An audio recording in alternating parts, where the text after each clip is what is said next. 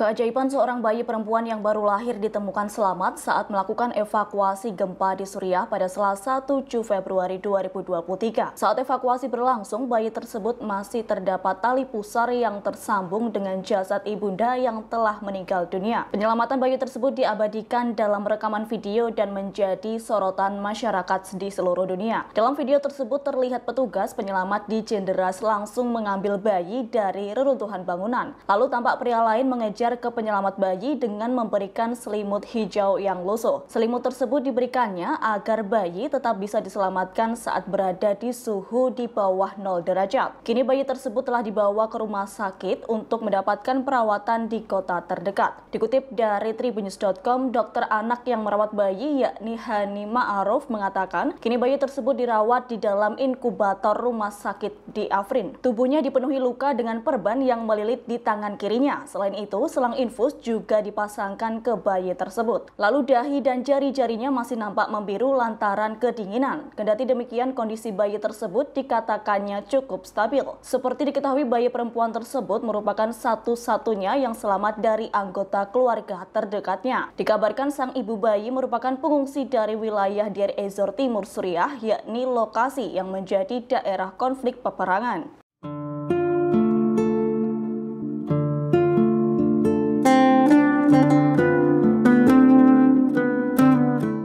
Terima kasih sudah nonton. Jangan lupa like, subscribe, dan share ya.